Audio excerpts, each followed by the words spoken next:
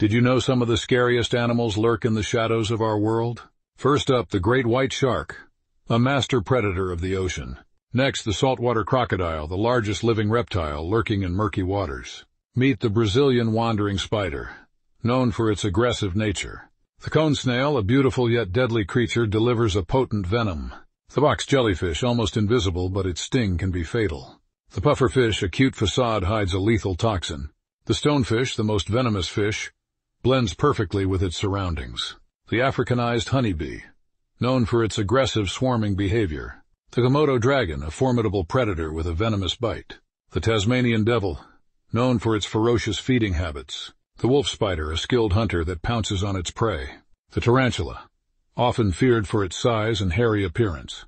The great horned owl, a silent predator of the night. The black widow spider, infamous for its deadly bite. The lionfish, beautiful but venomous with spines that deter predators. The anaconda, one of the largest snakes lurking in the water. Nature can be terrifying, but it's also fascinating. What's your scariest animal?